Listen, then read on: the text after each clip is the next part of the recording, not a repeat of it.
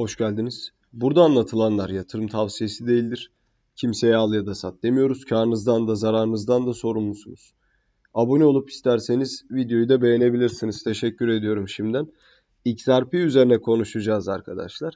Tabi e, mahkeme süreci devam ediyor. Davada yeni gelişmeler oldu. Üzerine XRP tarafında da yükselişler vesaire yaşandı. Bunlarla alakalı konuşacağız. Şimdi ne diyor bir bakalım. Ripple davasında yeni bir kararla birlikte 364 milyon XRP hareket etti. XRP artacak mı? Ee, bir kere şundan bahsedeyim ilk olarak. Sec'in arkadaşlar biliyorsunuz Binance US karşısında Sec bir davayı kaybetti. E bununla birlikte Ripple tarafında da tabii ki yükselişler meydana geldi. Bunu da bilmek lazım.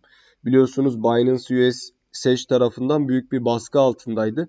E, Voyager'ı alma konusunda kendilerinin Voyager'ı alması hususunda kayıt dışı bir menkul kıymet satışını doğrudan tetikleyecekleri ve kendileri de Voyager gibi kayıt dışı bir menkul kıymet satıcısı olacağıyla alakalı açıklamalar vardı. Konu üzerine tabii ki mahkemelik oldular ve hakim e, Binance US tarafını haklı bularak mahkemeyi kazanmasıyla beraber olay sonlandı arkadaşlar. Bununla birlikte en nihayetinde Binance Voyager'ı alabilecekti ve e, VGX coin'de yön yukarı harekete başladı. Birincisi şunu söyleyeyim VGX e, yatırım yapılabilecek bir token olduğunu hala düşünmüyorum. Çünkü her ne kadar Binance US alsa bile işler hala sıkıntıda ve sallantıda. Yani e, riskli bir coin arkadaşlar bunu unutmamak lazım. Bir diğer mesele Binance US'in bunu kazanması tabii ki olası bir durumda Ripple'ın davayı kazanması hali için oldukça e, umut vaat etti Sec'in mahkemeyi kaybetmesi arkadaşlar. Bakalım neler diyor. XRP fiyat güncellemesi. Ripple'ın yerli kriptosu XRP salı günü global dijital varlık piyasasının hafif bir toparlanma kaydettiği zaman yeşil endeksler bastı. XRP fiyatı son birkaç hafta boyunca sabit kalmıştı ancak ABD Sage ve Ripple arasındaki son karar XRP fiyatını pompalayabilir. En son şöyle bir durum oldu. Yine arkadaşlar hakim Sage tarafının bir takım e, belgelerini gereksiz ve yetersiz bulduğu üzerine yani Sage tarafı burada e, hakimin bir tokadını yedi diyebiliriz. Olayla birlikte tabii ki XRP coin tarafında da pozitif haberler gözlemlendi. Bu e, bu arada şunu da söyleyeyim. XRP'nin epey bir süre yatay gitmesindeki sebep en son daha piyasa çakılmadan önce XRP ne yaptı? E, hareketli ortalamalarda patladı ve aşağı yönlü bir hareket yaptı. Dolayısıyla piyasa çakıldıktan sonra da önceden bunu fiyatladığı için fiyatlamadı. Burada uzunca bir süre yatay senaryo izlemiş oldu. Ripple balinaları harekete geçiyor.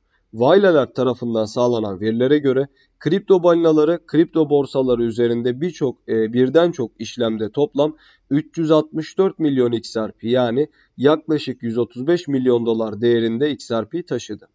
İzleyici tarafından kaydedilen en büyük işlem 144 milyon XRP token'ın bu da yaklaşık 53,5 milyon dolar değerinde e, taşınmasıyla işaret ediyormuş arkadaşlar.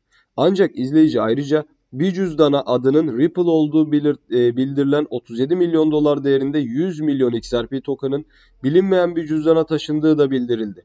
Veriler kripto balinalarının birden çok işlemde toplam 75.6 milyon XRP token'ı satın aldığını gösteriyor. Uzun lafın kısası şu anda mevcut süreç içerisinde balinalar XRP alımına devam ediyor. Burada XRP'yi almalarındaki ana sebep arkadaşlar tabii ki mahkemenin varlığı olarak karşımızda. Şimdi aslında şunu söylemek lazım bir risk iştahı XRP üzerinde çok yüksek. Bu kadar ciddi taşımaların olması zaten XRP üzerindeki olası volatiliteyi arttırıyor. Yani XRP ciddi volatilite gösterebilir olası bir piyasa yükselişinde yahut düşüşünde bunu unutmamak lazım.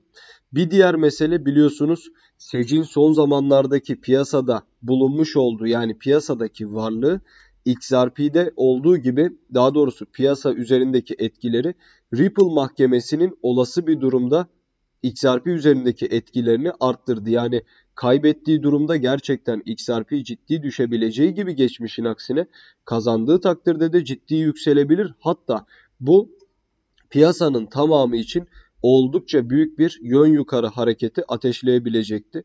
Bütün bunlar oluştuktan sonra balinaların alımları arttı. Yani risk iştahı inanılmaz derecede şu anda yüksek arkadaşlar. Bu da uzun vadede de volatilitenin artabileceğini bize gösteriyor. Bunu unutmamak lazım. XRP gitgide daha da radikal bir coin olmaya doğru ilerliyor. Burada tabii ki risk alıp almamak yatırımcıya kalmış bir durum olacaktır. Ancak izleyici tarafından kaydedilen en büyük birikim işlemi Bitso Crypto tarafından 41.6 milyon XRP token'ın 15.4 milyon dolar değerinde eklenmesiydi.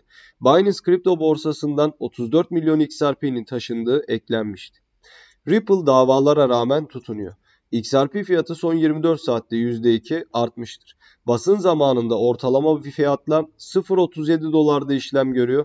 Ripple'ın yerli kripto 24 e, saatlik işlem hacmi %18 artarken 1.12 milyar dolara yükselmiştir diyor arkadaşlar.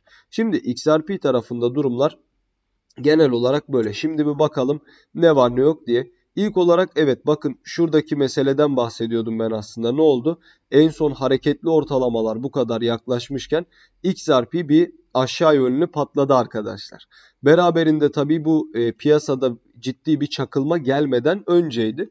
Dolayısıyla çakılma geldikten sonra da XRP bunu vaktiyle fiyatladığı için yeniden bir fiyatlama gözlemlemedik tamam mı? Beraberinde epey bir hafif yatay hareket yaptı. Son 3 gündür de yükselen hareket içerisinde fakat şunu söylemek lazım. XRP'de bu tutunmanın açıkçası kalıcı olmasını beklemiyorum. Bakınız burada yine hacim artıyor ancak yeterli bir hacim yok.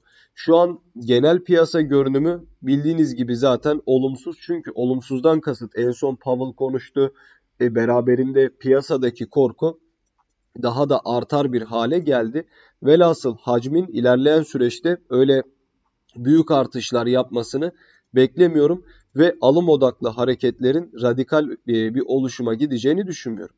XRP'nin burada yapabileceği ortalama 39 civarlarına kadar yükselse de devamında kısa vadede günler içerisinde düşüş eğilimli olmaya devam edecektir. Hatta ayın 22'sine kadar yeniden ortalama 36 dolaylarına kadar geri çekilme ihtimali yüksek olacaktır. 36.5 pozisyonları XRP'de alım için ideal noktalardır arkadaşlar. Haricinde beklenen senaryo BTC 22'sine kadar 21.5 dolaylarına kadar düşerse tabii ki XRP'de de düşüşler devam edecektir. Bu da ortalama 34.5 civarlarına kadar olabileceğini düşünüyorum. Buralardan da güzel alım fırsatları XRP tarafında gözlemleyebileceğiz. Genel olarak durumlar mahkeme ve XRP fiyatları üzerinde beklentiler budur. İzlediğiniz için teşekkür ediyorum. Abone olup videoyu da beğenebilirsiniz. Bol kazançlar dilerim videoyu izleyen herkese. Hoşçakalın.